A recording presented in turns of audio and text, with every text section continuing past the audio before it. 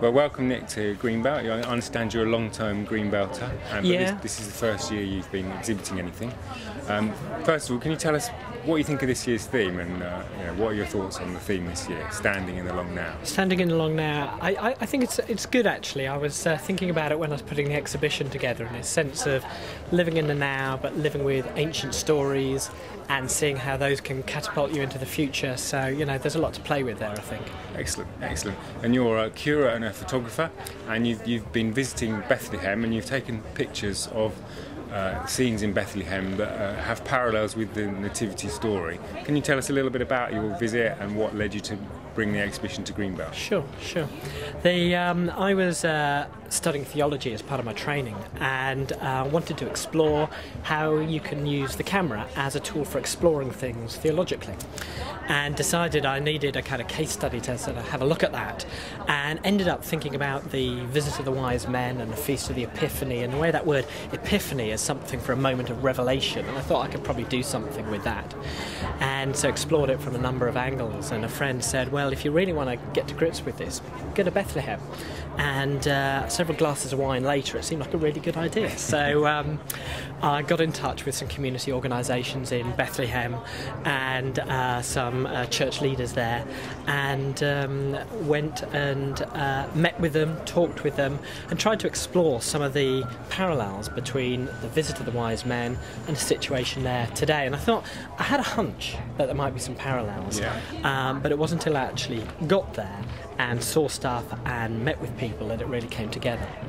Great, okay, and, and it beautifully ties in with our, our campaign issue this year of, of uh, Palestine, and we've just been to the service this morning, which was yeah. uh, you know wonderfully produced. So yeah. uh, it was just a perfect uh, tie-in with all our visual arts programming. Yeah, so. yeah. No, it was it, it, was really moving actually, and I hadn't quite sort of realised until I was reading through the program and the commitment that Greenbelt's making, mm, you know, for mm. the next three years. I think it's just really good because uh, you know, people are struggling day in, day out in and around Bethlehem with having to get through the barrier, with trying to maintain jobs if they're working on the other side of the wall. Mm-hmm. And towards the end of my week there, I went on what is actually a weekly demonstration against the wall, peaceful demonstration uh, that happens after um, Muslim prayers on a Friday, but Christian groups join as well.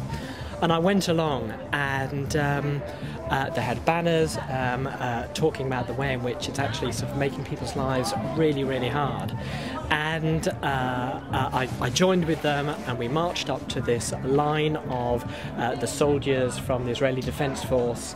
Um, uh, views were exchanged um, and you know points forcefully made. Mm. Um, and then people sort of came back from um, uh, the demo and they're just sort of standing in huddles chatting after the demonstration. And it was at that point, um, after I'd been taking photos, and I was just viewing the photos I'd taken, and it was at that point that the soldiers decided to fire tear gas canisters into the crowd. Wow. And uh, you didn't know what it was. You just had these very large bangs and all of this smoke, and everyone was running. Mm-hmm. And um, I didn't get any photos of that because I was running. and uh, um, and, and, we, and we ended up recovering, and your eyes are streaming, and your throat's constricted, and you don't know where you are. Uh, and um, and the locals, you know, I was I was in shock. The locals took it in their stride because they've yeah, witnessed they this before. Yeah. Um, but they thanked me for coming, and they said if we don't have internationals here, if we don't have journalists here, if we don't have people recording this, uh, the violence can be worse. Mm, mm. Um, and go away and tell this story.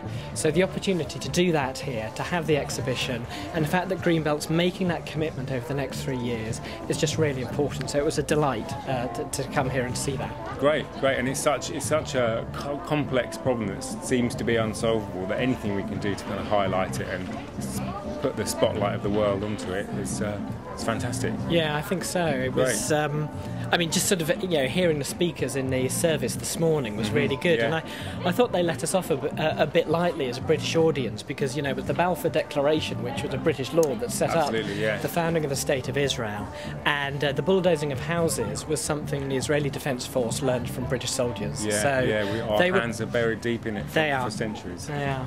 Great. Okay. Well, thank you very much. Thank you.